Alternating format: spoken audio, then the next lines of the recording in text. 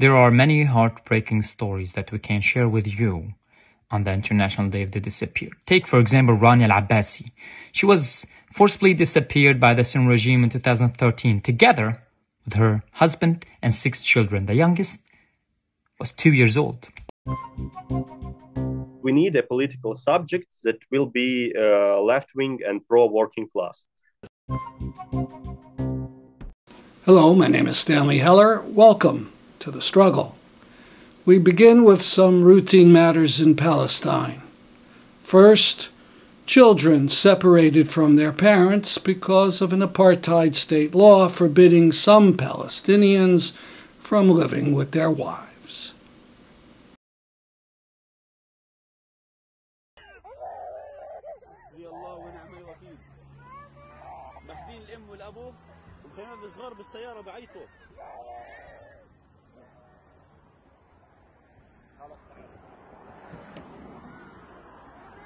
الولد رضيع حسبي الله ونعم الوكيل. الشرطة مأخذين الأب والأم من السيارة ومخلين ولد صغار مخلين ولد صغار بالسيارة. حسبي الله ونعم الوكيل. مأخذين الأم والأبو ومخلين ولد صغار بالسيارة بعيطوا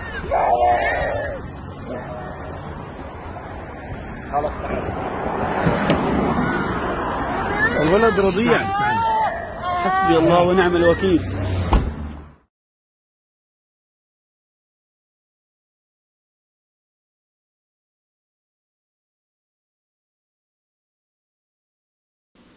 Several years ago, the Israeli government passed a law forbidding Palestinian citizens of Israel who marry Palestinians from the West Bank from having their spouse come to 48 Palestine to live.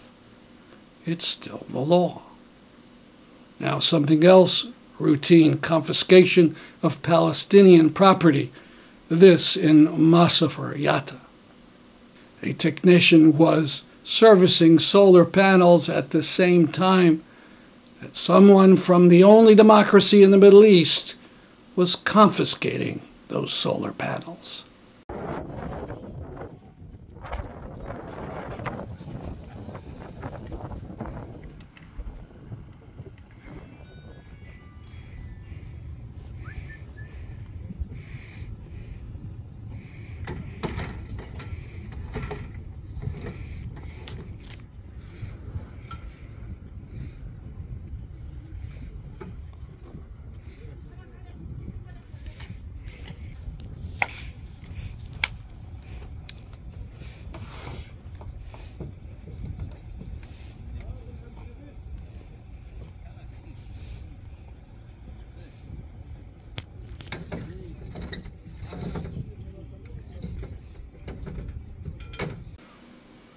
The Israeli government ended its investigation of the killing of Shireen Abu Akleh by concluding that no one should be punished in any way.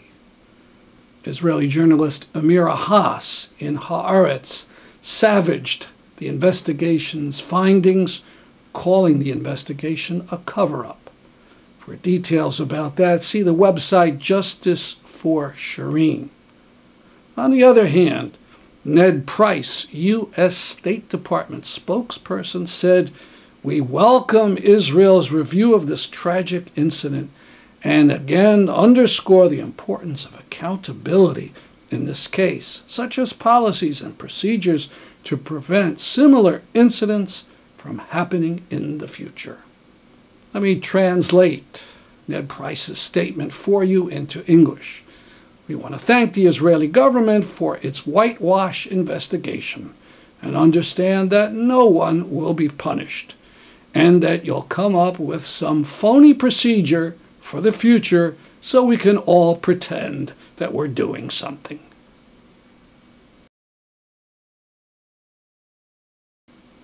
The International Day of the Disappeared took place on August 30th. Omar Alshogre, who was a former prisoner of the Assad regime and who was tortured in its prisons, and now who works for the Syrian Emergency Task Force, gave illustrations.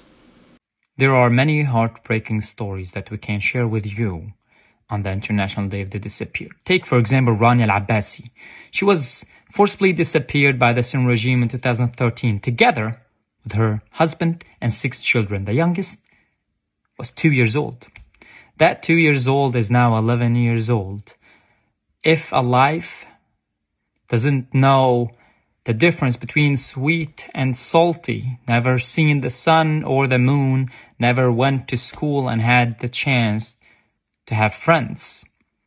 In dark cell, hearing the torture of their friends, neighbors, and families. That's the reality.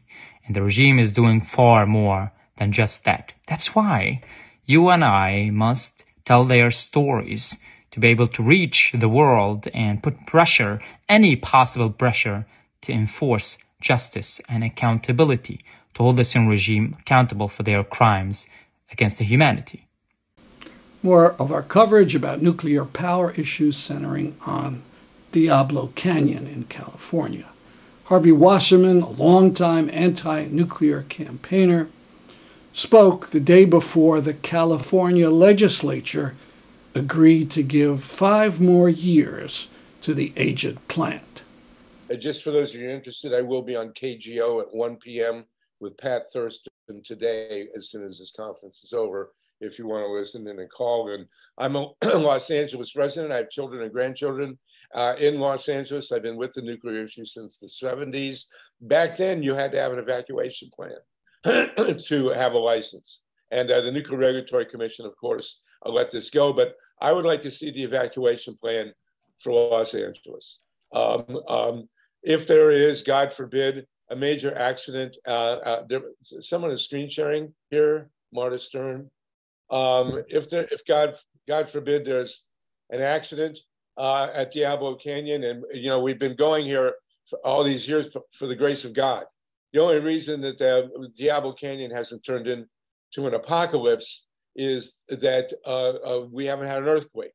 God knows we're overdue.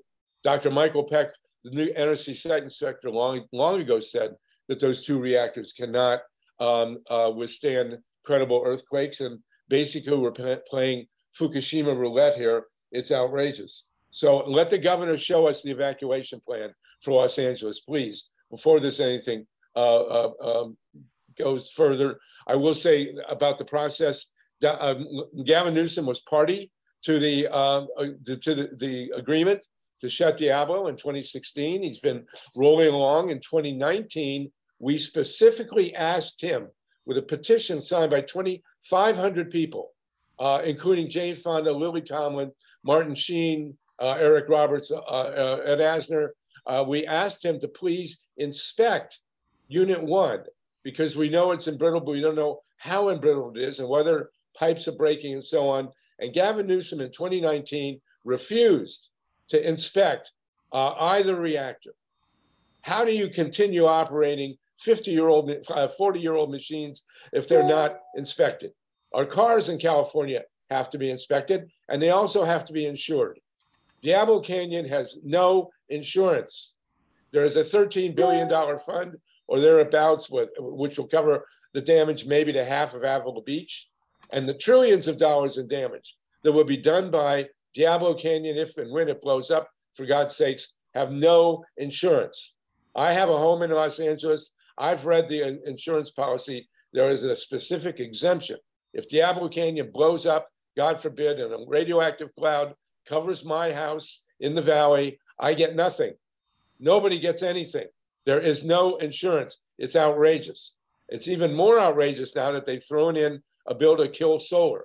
What sane energy planner in 2022 kills rooftop solar in California while arguing that we need the power from a nuclear power plant? That is the definition of bad faith and of insanity. And we are all at risk from here. We're all uninsured. And, um, uh, you know, we got to stop playing Fukushima roulette. I will end by saying in 1977, I marched in Japan uh, with thousands of Japanese citizens who specifically said, do not build nuclear power plants in a zone washed by tsunamis and shaken by earthquakes. And TEPCO and the Japanese government laughed at us and said, forget it, it's not going to happen. We know it happened. We have been warning exactly the same thing at Diablo Canyon for 50 years. And these people, not only don't these people listen, but they have no morals and no ethics in pushing through this extension, and we have to stop it. I'll shoot through some credentials real quick. I have a bachelor's and master's in nuclear reactor operator, was a senior vice president in the nuclear industry, have a safety nuclear safety patent, and uh, um, three peer-reviewed journal articles, as well as God knows how many times I've testified in front of uh, uh, different regulatory um, agencies about the um, about nuclear safety. Um, uh, you can tell I'm an old guy. I'm 74, 73 years old. Diablo Canyon's design began when I was in 10th grade. They were designing this plant in 1965. And in 1967, they began to build a nuclear reactor. And when they welded the nuclear reactor together, they used the wrong metal. Uh, the metal causes embrittlement, which I'll get into in a minute. But they recognized in 1972 that they had the wrong metal in. And it was 15 years later when the unit started up. Yet they continued um, with the with the nuclear reactor that had the wrong metal in its welds. Um, so that let's. My, I wrote a report for Mothers for Peace, which is why I'm uh, invited to speak today. Uh, it's hundred pages long, and I have like four minutes to give you the uh, the cliff notes on that hundred page report.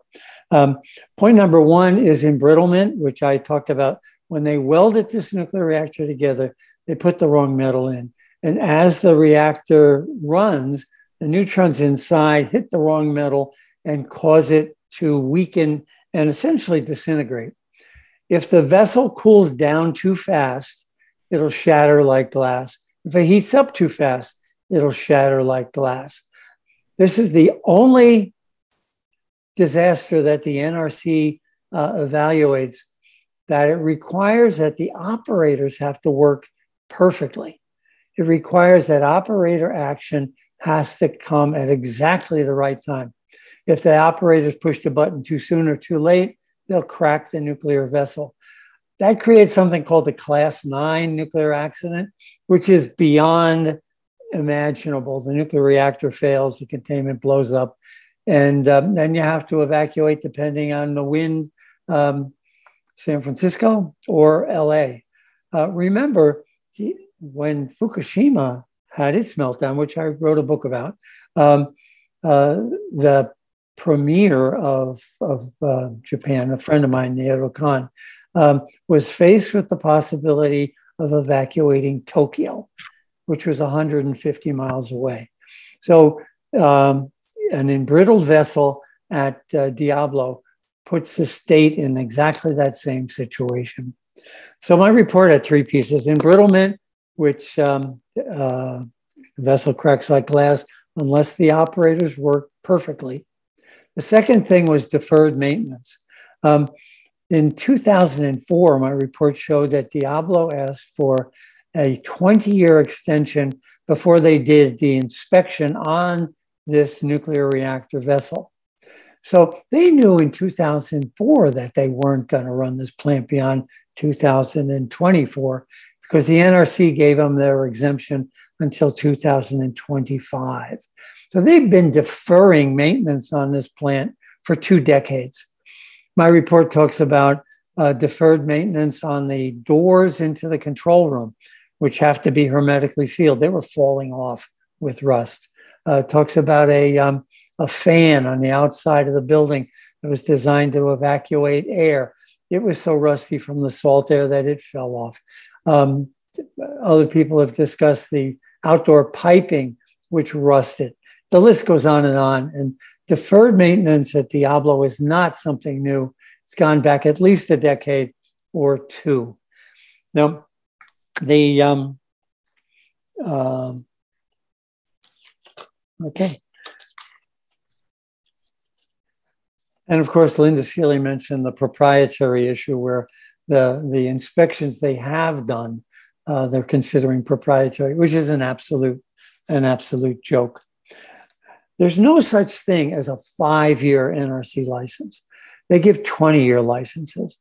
And, and Diablo can't afford to make the repairs that are needed because of all this work they've pushed off in time. Diablo can't afford to make it and get a five year payback period.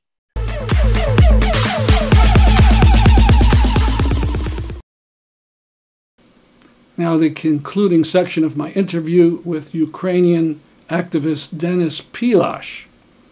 In this section, he talks about 2014 and the birth of the leftist formation called the social movement.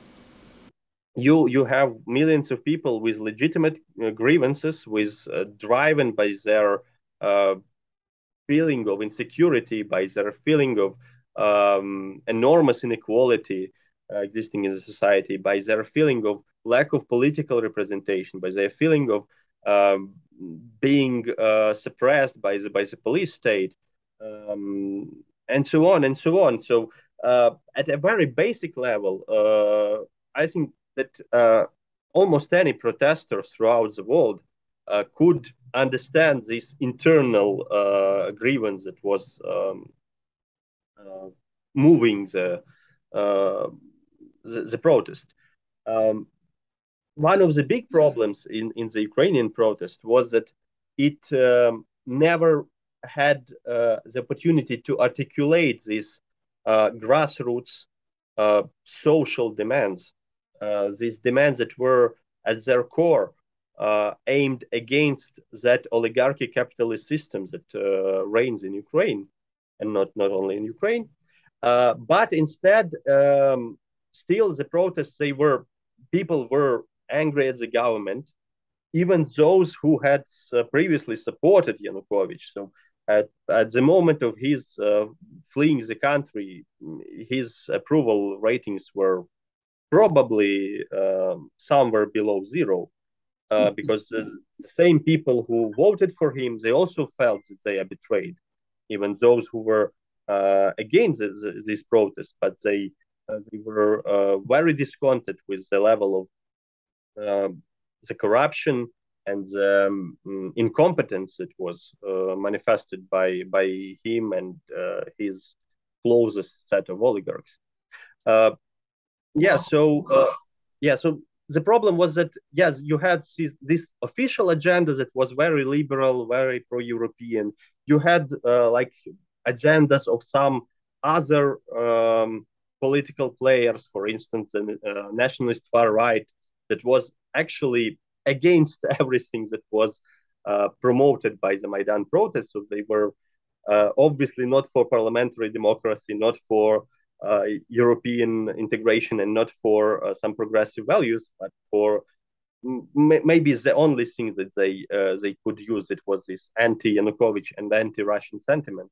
But they uh, could still push through their own agenda and their own imagery, their own slogans, their own flags.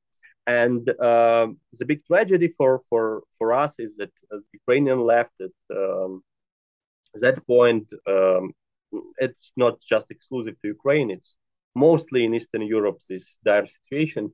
It was too weak and uh, to present its uh, own political pole to present its own, political subject, to articulate these uh, anti-oligarchic, anti-capitalist uh, um, demands that, that were deeply inside many of the protesters. Though we, our group at that point was called uh, the left opposition, and we uh, we distributed thousands of, uh, of leaflets circulating there with these 12 points of, of or 10 points of, of social demands where we were um, like uh, directly uh, stating that um, the problems for Ukraine, they will not wither, they will persist, and we will have more and more such protests if we don't address the core of them, that is uh, oligarchy capitalist system, and that we need a democratic socialist alternative. Uh, but is still, this uh, is this the mm-hmm. start mm-hmm. of the official creation of social movement, or did that happen earlier?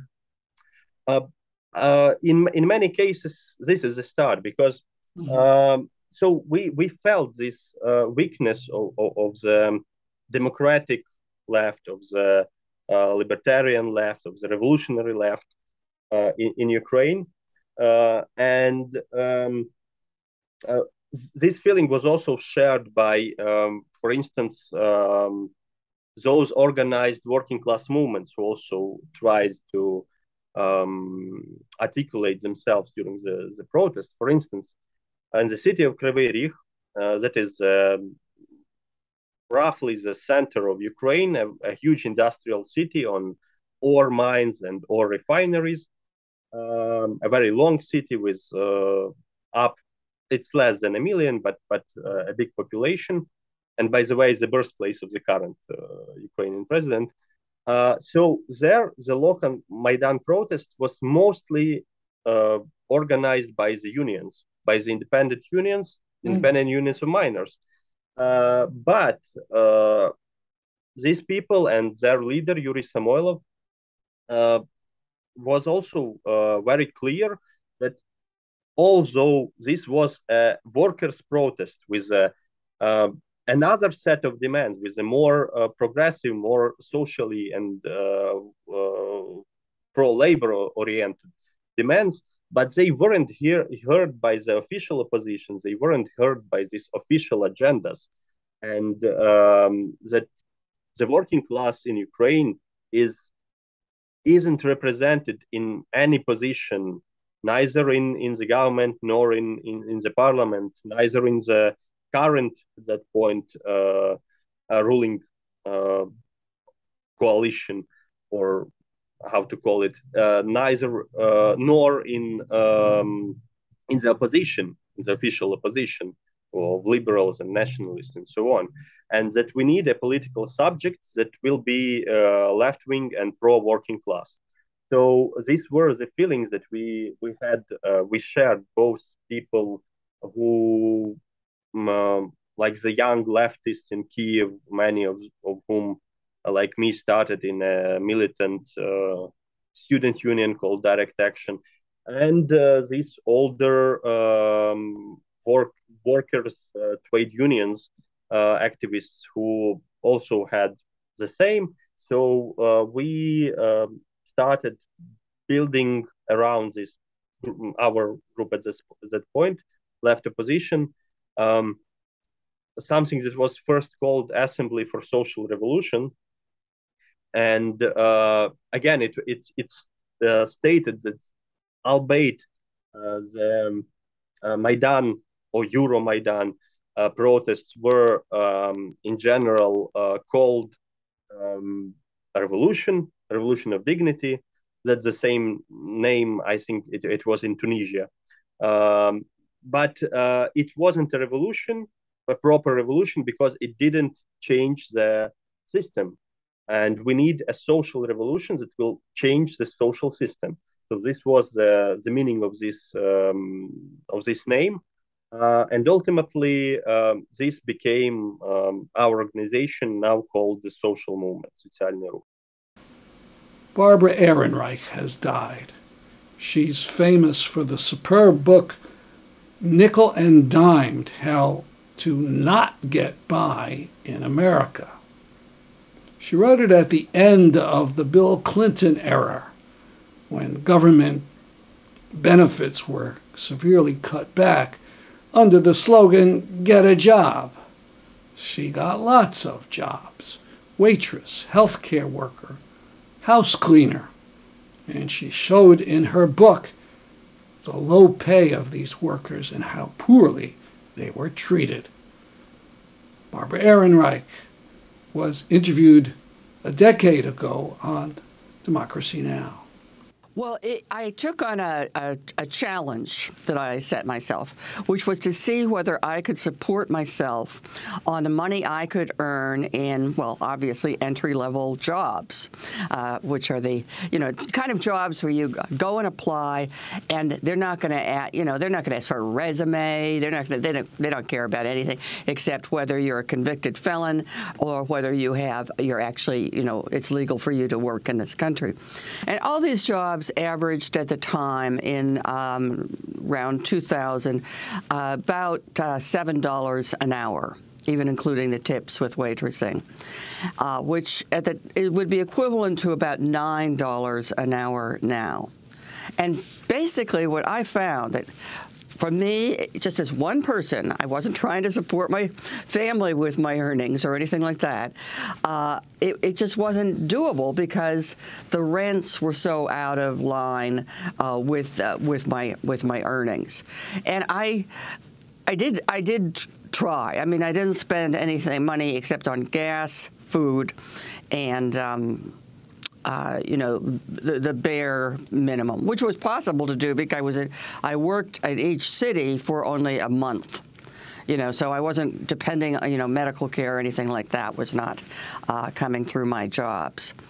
But uh, I found you know, a very important thing. Uh, well, two very important things. First, it's $7 an hour or $9 an hour in today's dollars. You're not considered poor. You know, you don't show up in the poverty statistics. That you're considered to be fine if you're one individual earning that much.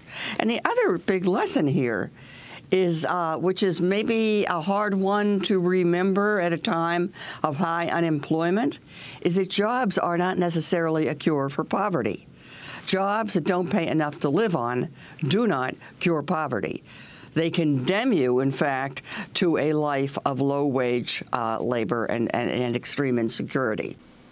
If you're going to the Connecticut Folk Festival and Green Expo, take a look for us. We'll be around the booth of Promoting Enduring Peace.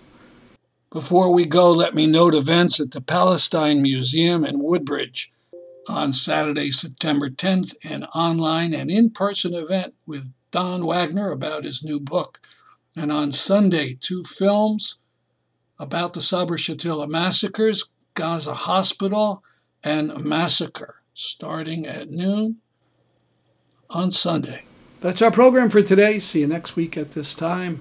I'm Stanley Heller for The Struggle.